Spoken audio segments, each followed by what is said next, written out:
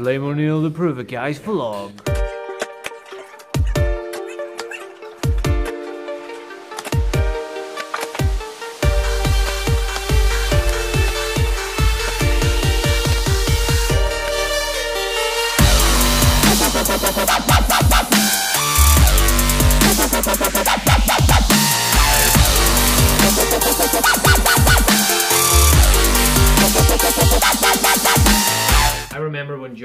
Interviews used to be difficult. You have to stress and go in and like worry about what's going on. Not today's job interview though.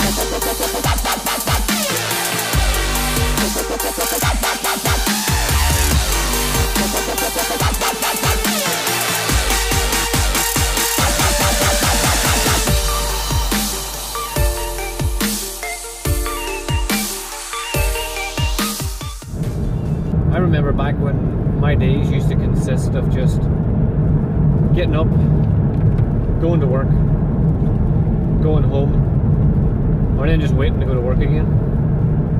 In a job that I did not like for a very long time. But I felt secure in the fact that I had money and that people kept saying to me that you need a job and you should hold on to your job, you're lucky to have a job. But I always thought there was something extra that I could do, something better than what I was doing. So that's why, as you, if you watch this vlog, you'll see today that my day consists of going up to Todd's Leap, uh, having a chat with a few people, and then Peter Doherty. Thank you very much, Peter, taking me out on a wee off-road trip, and then we got to play with a drone, and now I'm on the way to archery.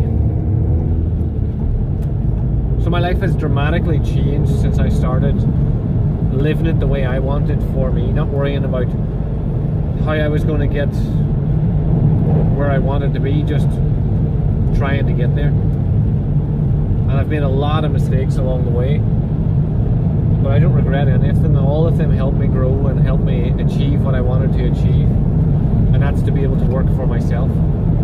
Benefits of having a hobby. One, you get to be awesome at new stuff. Two, you get to meet new people. Three, you get to go new and exciting places. Four, you can challenge yourself. And five, hobbies are awesome.